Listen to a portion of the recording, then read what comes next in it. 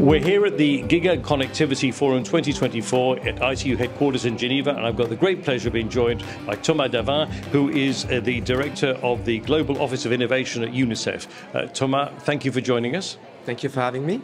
Now, I've got a couple of questions for you. Perhaps you could tell us about a little bit about uh, today's event and any insights that resonated with you today. Yes, we, when we talk about the connectivity and why it matters, we start always from the, the daunting size of the challenge, right? 2.6 billion people not connected in the world, 40 to 50% of schools not connected in the world.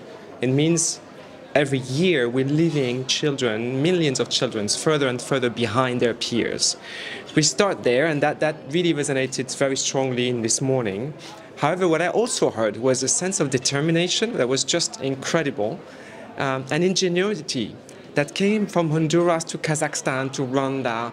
They all look at this challenge, which is the same challenge for all of them. They have different geographies, they have different means, they have different economies, um, but they all find different ways of, of progressing forward, of getting connectivity one school at a time or a hundred schools at a time, or in the case of Brazil, a thousand schools at a time.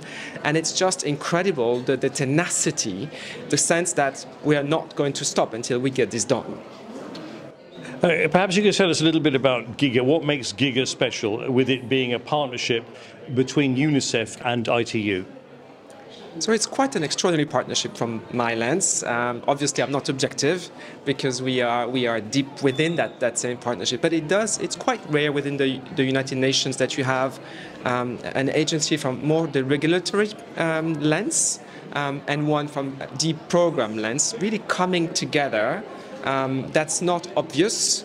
Um, and so it, it, took, you know, a, a, spark for us to think we must do this because we actually add different values to that equation, and, and we probably could be a spark for the, the rest of the industry, that that uh, that sector where we can we can bring that accelerator together.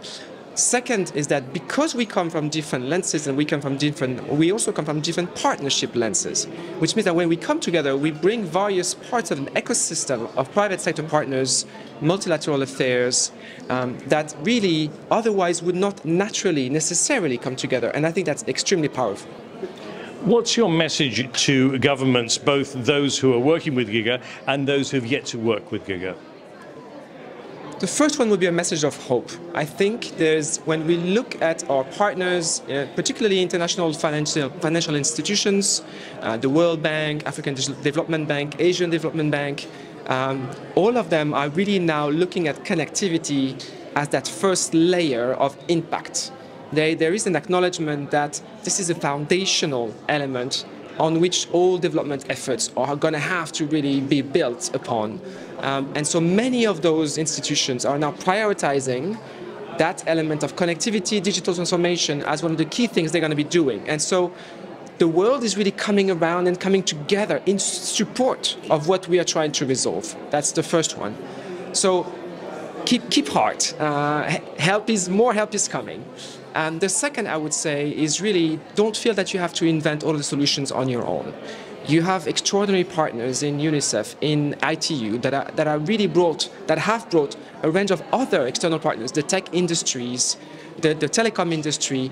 Those are extraordinary expertise, and they've already come together with a range of extraordinary tools that allow you to standardize, to optimize to, to, for, towards effectiveness, efficiencies, and scale um, on the efforts that you are really pursuing. So count us in and count on us.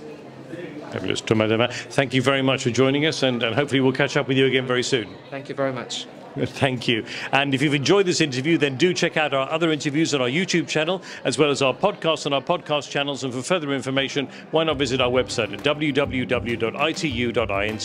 Thanks for tuning in.